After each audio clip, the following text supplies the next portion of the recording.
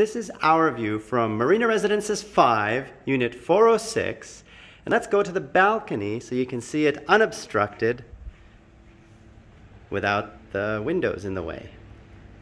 So we can see the Royal Atlantis, the Atlantis, and the marina. And in the distance, the Burj Al Arab, and on a clear day, the Burj Khalifa. From our other balcony, let me walk you there. Oh, and this is the inside of our unit. It's a type A. We have a little movie room in the corner there and a kitchen. All right, let's go to the other balcony. And there's a third balcony uh, in the bedroom, the master bedroom, but it's about the same view as this one. So that's the Palm Views East, the Atlantis, Royal Atlantis, and as you saw before,